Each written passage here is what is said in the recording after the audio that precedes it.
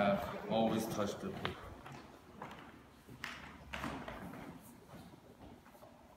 Yeah, so now do it without raising that. Do it without leaning forward. So where do I go from here? Yeah, yeah, keep going, come on, come on, you got it. Right, so you're always maintaining a point of contact. So, so now, feel the same point of contact from on this side, go to you on this side, and hook it together.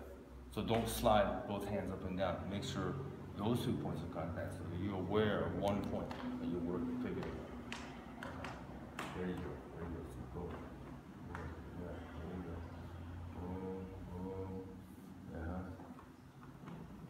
Uh, shoulder, shoulder, shoulder.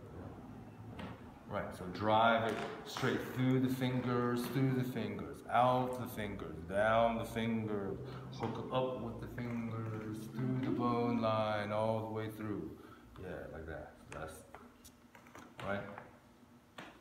Right, so feel. So now go the same thing backwards, the other way. Hook back and then down, push down, elbows down, forward, up.